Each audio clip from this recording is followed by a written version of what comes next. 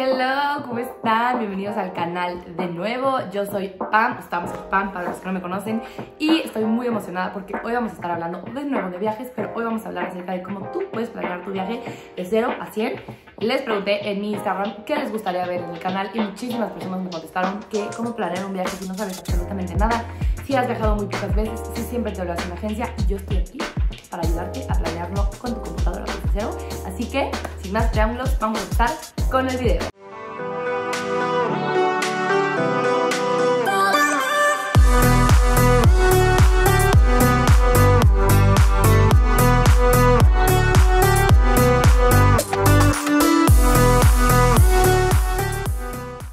Obviamente vamos a empezar este video de una forma muy básica porque esto es para principiantes o para personas que dicen quiero ir a tal lugar pero no sé cómo hacerle. Entonces, el primer paso, el más básico, el más obvio y seguramente me vas a decir, ay Pam, es obvio, pero tal vez no.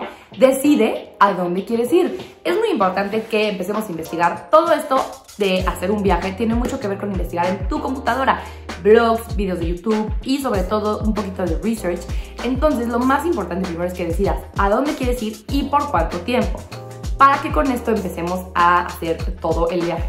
Vamos a hacer un ejemplo, yo aquí te voy a ayudar a planear un viaje a Estados Unidos, a San Francisco por 7 días. Entonces lo primero que vas a hacer es abrir un Word, abrir notas, abrir lo que sea y literalmente poner, aquí les voy a poner un ejemplo, una tabla de todos los días que vas a tener en tu viaje y los destinos que vas a estar en cada lugar.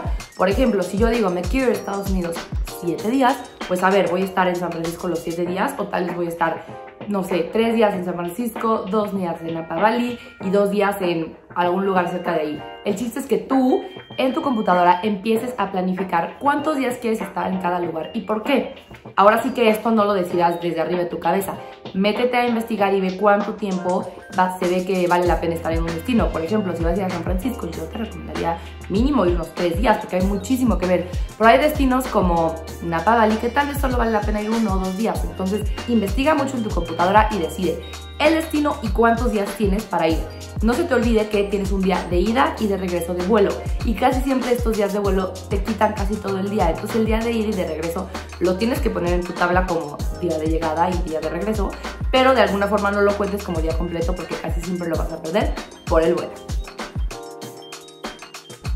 Paso número 1.2.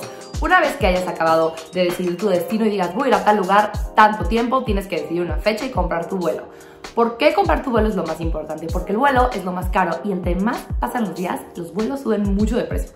Un día y puedes subir 100 dólares o 200. Es impresionante. Entonces, aquí te voy a dejar algunas de las páginas que yo utilizo para que compres tu vuelo. Yo te recomiendo muchísimo Google Flights, se me hace buenísima, pero el vuelo cómpralo directo en la página de la aerolínea porque ahí te va a salir perfecto, nadie te va a ver la cara, no va a ser ninguna estafa y pues es lo más seguro. Ahora, unos cuantos tips para tu vuelo. Intenta viajar entre semana, ya que esto es lo más barato y aquí ahorrarás mucho más. Si viajas el fin de semana, tu vuelo va a estar más caro. Segundo, entiendo que a la gente le encanta hacer escalas, claro, es muy importante hacer escalas cuando vuelas, pero no hagas 6 escalas con 18 horas, porque vas a llegar, uno, agotado a tu destino y dos, vas a perder muchísimo tiempo. Es muy importante ahorrar en el vuelo, pero tampoco te excedas en ir a 60 lugares para que te salga baratísimo y cuando llegues a tu destino estés agotado y hayas perdido dos días. Entonces, sé inteligente con las escalas que eliges. Y si sí eliges escalas, hazlas de la misma aerolínea. Nunca me canso de decir esto porque si tu primer vuelo se atrasa y tú pierdes el segundo y, es la misma aerolínea, ellos te van a ayudar y te van a dar un nuevo vuelo completamente gratis. Si tú pierdes el segundo y el segundo es de una aerolínea diferente al primero, no te van a ayudar en nada, vas a tener que comprar uno nuevo y te va a salir carísimo. Entonces, siempre escalas de la misma aerolínea. Y ya que tienes tu vuelo, vámonos al siguiente paso. Ahora sí, paso número 2. Tienes que ver dónde te vas a quedar. Hay muchísimas opciones. Hotel, hostal, Airbnb, este, con unos amigos, con unos familiares, lo que tú quieras, pero tienes que hospedarte de alguna manera. Hay viajes que pueden ser de naturaleza y puedes quedarte en, una, en un coche casa, en un RV, pero aquí estamos hablando sobre hospedaje ahora sí que estático. Entonces, te recomiendo muchísimo que veas las opciones, que veas qué te quieres quedar. Lo más importante, tu presupuesto. Si tienes un presupuesto para quedarte en un hotel padrísimo, pues vas. Si tienes presupuesto para hostal, pues vas. Te voy a dejar aquí páginas de hoteles y páginas de hostales. En Booking, esa es mi página favorita para reservar hoteles, te dan las mejores tarifas y puedes ver ahí los diferentes tipos de cuartos que hay en cada hotel. En cuanto a hostales, aquí te dejo algunas opciones y en hostales también puedes reservar cuartos solo de niñas, solo de hombres, cuartos de dos personas si quieres quedarte en un cuarto solita, cuartos compartidos, hay muchas opciones. Ahora sí que con esto vas a ver cuál es la que a ti te conviene y te recomiendo muchísimo que veas cuánto te sale la noche y en el Word que estabas haciendo tu, tu tablita donde tienes cuántas noches te vas a quedar, empieces a calcular, por noche me sale tanto el hotel y ahí vas a ir haciendo tu presupuesto. Ahora, paso número 3, ya tienes vuelo, ya tienes hospedaje, ¿qué vamos a hacer en el destino? Es momento de que empecemos a organizar nuestros tours, a ver nuestras atracciones, bla, bla, bla. En la tablita que te dije que hicieras al principio de día 1, tal lugar, día 2, tal lugar, día 3, tal igual, te recomiendo que hagas una nueva columna y ahí vas a estar poniendo qué hacer.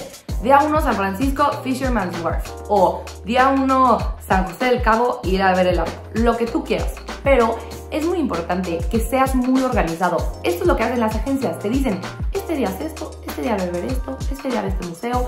Y eso te ayuda a que estés muy organizado. Entiendo que hay personas que les gusta fluir y, ver qué pasa en el momento, pero si estás invirtiendo tu tiempo y tu dinero y tu energía en ir a ver un destino, pues ten un poco organizado qué quieres hacer. Si vas a ir a París, a Torre Eiffel, el Louvre, Champs-Élysées, lo que sea pero ponen los días que vas a hacer e investiga si algún lugar tienes que reservar con anticipación, comprar boletos o inclusive con tour. Hay algunos lugares de diferentes países que solo puedes ir con tour y con un guía certificado. te toca a ti, ahora sí que lo de esta sección yo le podría decir research, investiga, investigación, te toca ver qué es lo que hay que hacer, qué tenemos que reservar y empezar a, a mí se me hace divertidísimo empezar a planear tus días y decir, ay, el miércoles voy a ir a voy a ir al museo de no sé qué, qué emoción. Esto es muy, muy padre porque solito te vas a ir emocionando por el destino que vas a ir a ver.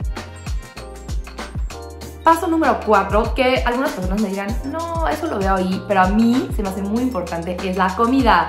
Obviamente el chiste también de viajar es irte encontrando restaurantes y meterte ahí a ver y ir a mercados, te recomiendo muchísimo ir a mercados, pero al viajar tienes la oportunidad de visitar restaurantes de muy buenos chefs, de todo el mundo, de todo precio, calidad, rango, entonces investiga un poquito a los lugares que vas a ir y ves algún restaurante que seguro vas a necesitar reservación que vale la pena que lo hagas y así ya vas a decir, uy, el miércoles vamos a ir a comer este lugar de ceviche, es famosísimo en Perú y ya vas a tener un poco listo tu, tu itinerario, ¿no? Te digo que reserves las tres comidas de todos los días de tu viaje, pero una que otra sí, para que aparte de que esté reservado y puedas entrar a los lugares, porque los restaurantes casi siempre son los que más se llenan, pues tengas como esta emoción de decir, uy, voy a probar este famoso plato o así.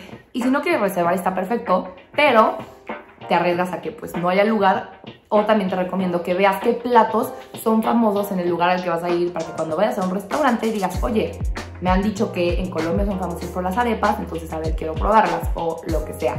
Prepararte también en cuanto a la gastronomía y saber que vas a visitar diferentes restaurantes y probar diferentes platillos es algo padrísimo porque eso también te va a emocionar a decir, uy, quiero probar diferentes cosas.